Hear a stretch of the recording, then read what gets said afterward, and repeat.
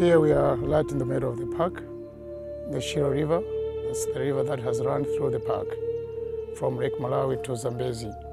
And uh, what has happened here is that uh, we have found this, this boat, and the poachers has run away into the bush. What they do normally, is they poach fish as well as um, hunting animals. So um, if it is not like at night, then they park the boat and start poaching animals. Then at night they come back, start fishing. My name is Rafael Chiwindo. I used to work in the park, the Department of Parks and Wildlife as a ranger. Now I'm working with the IFAW, that's International Fund for Animal Welfare. My name is Azzedine Downes and I'm the President and CEO of the International Fund for Animal Welfare. The, the crux of the life here uh, emanates from the river. And that's true for people and it's true for the animals. In many parks you'll find that there are communities who live near the park, but in Liwonde the fact of the matter is that the people are living literally on the borders of the park. So the interaction is, is quite intense. That led us to believe that unless we did something with the community, and unless we could convince the community that it was in their best interest to be involved in a conservation project, um, that we had no chance of success.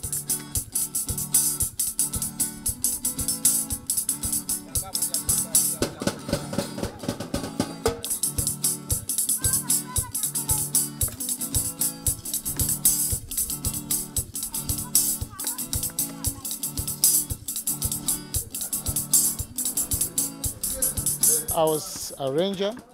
I was chasing poachers, you know, fighting, making sure that the law is enforced.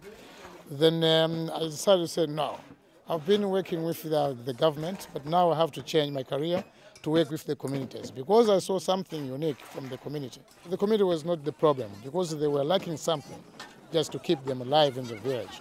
That is like water. That's why they were found in the park fetching water and they were lacking some maybe proteins, that's why they were fishing. And they were lacking something like meat, that's why they were poaching in the park. Then we are here to provide them with all those things. Water, security, proteins, vegetables, and the like. My name is Michael Bashane. I work regionally doing anti-poaching, and this is our first community project. We offered what we could call shares.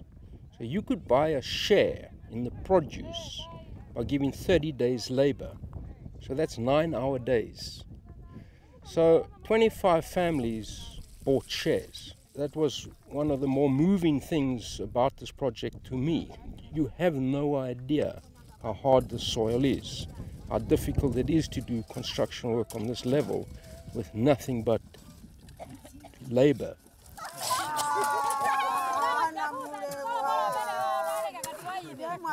I'm Laston Kamwendo. I'm 33 years old. I'm a farmer. I'm appreciated to, to join this program because I know that uh, I can benefit more. Because as, as of now, we have cultivated our crops there and they are well protected by the, elephants because of this fence. So I'm pleased to be one of the member here, one of the 25 families.